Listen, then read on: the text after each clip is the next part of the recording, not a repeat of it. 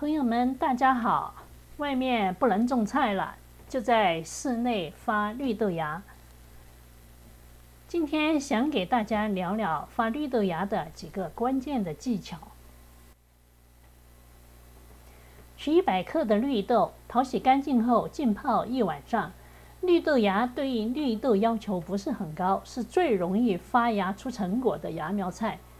对浮在水面上和明显破开的绿豆要挑出来。准备一个漏筐，我用的是这种在 Donner Store 买的简易的蔬菜水干筐，它有内外两层，不但可以滤水，还可以避光。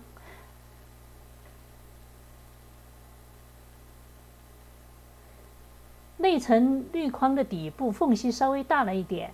绿豆会滑下去，就在绿豆洞眼最大的区域铺上一张厨房纸，就可以解决这个问题。准备好了以后，把绿豆倒入筐内，用手把它们铺平。这个容器很适合绿豆一百克的绿豆生长。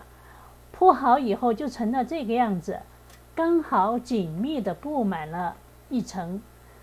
注意我说的紧密铺满这个要点，如果铺得很稀疏。豆芽需要互相支撑生长，太稀疏了，它们就长得不好。铺好以后，在面上撒一次水，冲掉手上操作时候的污染。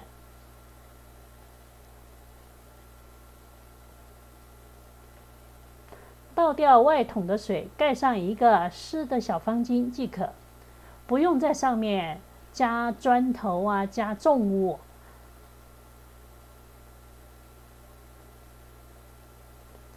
盖上盖子，把它们放在温暖避光的地方，室温最好在二十到二十五摄氏度，这是非常重要的要点。早晚冲水一次，这是四十八小时以后。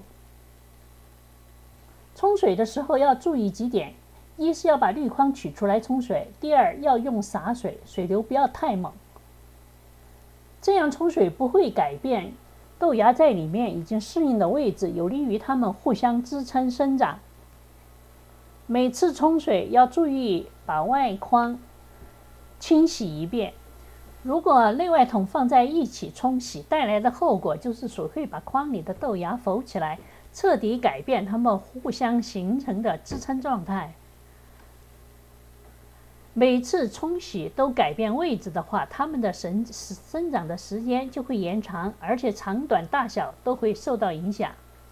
这是七十二小时以后。芽杆已经有两公分长了。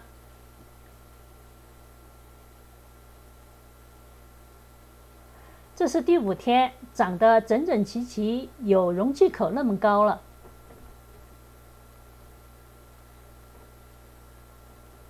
我取一些出来看看，豆芽杆白胖的，自己吃的话长成这样口感最好，细嫩，纤维素比较少。